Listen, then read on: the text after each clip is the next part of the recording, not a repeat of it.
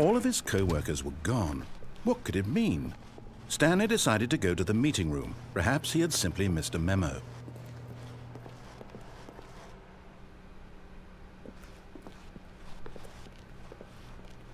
When Stanley came to a set of two open doors, he entered the door on his left. This was not the correct way to the meeting room, and Stanley knew it perfectly well. Perhaps he wanted to stop by the employee lounge first, just to admire it. Ah, yes, truly a room worth admiring. But eager to get back to business, Stanley took the first open door on his left. Stanley was so bad at following directions, it's incredible he wasn't fired years ago. Look, Stanley, I think perhaps we've gotten off on the wrong foot here. I'm not your enemy, really, I'm not. I realize that investing your trust in someone else can be difficult, but the fact is that the story has been about nothing but you all this time. There's someone you've been neglecting, Stanley. Someone you've forgotten about. Please, stop trying to make every decision by yourself. Now, I'm not asking for me, I'm asking for her. This is it, Stanley. Your chance to redeem yourself, to put your work aside, to let her back into your life. She's been waiting. That's her, Stanley. You need.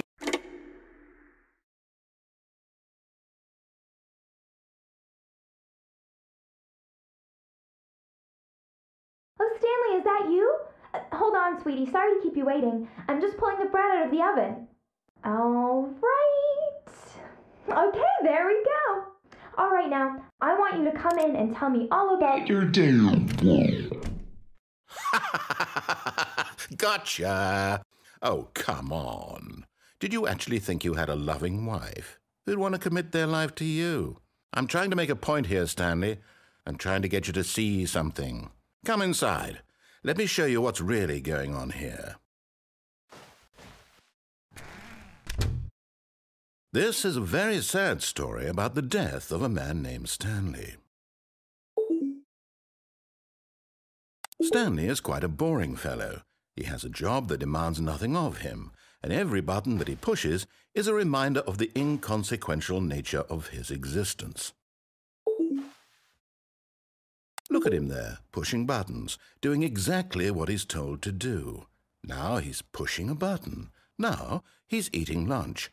Now he's going home. Now he's coming back to work. One might even feel sorry for him, except that he's chosen this life. But in his mind, ah, in his mind he can go on fantastic adventures. From behind his desk, Stanley dreamed of wild expeditions into the unknown, fantastic discoveries of new lands. It was wonderful and each day that he returned to work was a reminder that none of it would ever happen to him. And so he began to fantasize about his own job. First, he imagined that one day while at work, he stepped up from his desk to realize that all of his co-workers, his boss, everyone in the building had suddenly vanished off the face of the earth. The thought excited him terribly. So he went further. He imagined that he came to two open doors and that he could go through either. At last, choice. It barely even mattered what lay behind each door. The mere thought that his decisions would mean something was almost too wonderful to behold. As he wandered through this fantasy world, he began to fill it with many possible paths and destinations. Down one path lay an enormous round room with monitors and mind controls. And down another was a yellow line that weaved in many directions. And down another was a game with a baby. And he called it the Stanley Parable. It was such a wonderful fantasy, and so in his head he relived it again, and then again, and again, over and over, wishing beyond hope that it would never end that he might always feel this free. Surely there's an answer down some new path, mustn't there be? Perhaps if he played just one more time. But there is no answer. How could there possibly be?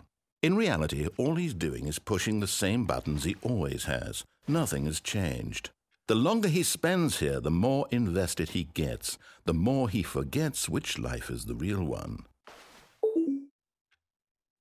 And I'm trying to tell him this that in this world he can never be anything but an observer, that as long as he remains here, he's slowly killing himself.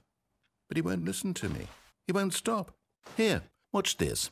Stanley, the next time the screen asks you to push a button, do not do it.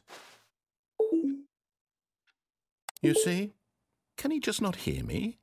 How can I tell him in a way that he'll understand that every second he remains here, he's electing to kill himself? How can I get him to see what I see? How can I make him look at himself? I suppose I can't, not in the way I want him to. But I don't make the rules. I simply play to my intended purpose, the same as Stanley. We're not so different, I suppose. I'll try once more to convey all this to him. I'm compelled to. I must. Perhaps, well, maybe this time he'll see. Maybe this time. And I tried again, and Stanley pushed a button. And I tried again, and Stanley pushed a button. And I